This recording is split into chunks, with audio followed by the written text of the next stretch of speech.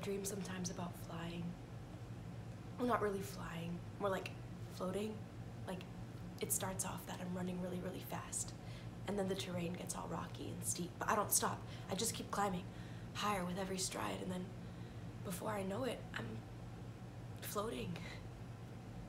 I'm going so fast, my feet don't even touch the ground. I'm up in the air and I don't know.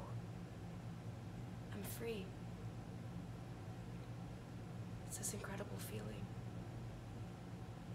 But then I look down and the moment I do, everything changes. Like there I am. I'm high above the earth. Nothing can touch me, right? I'm free and I'm safe. And then it hits me just like that. I am completely alone. And then I wake up. I've never told anyone that before.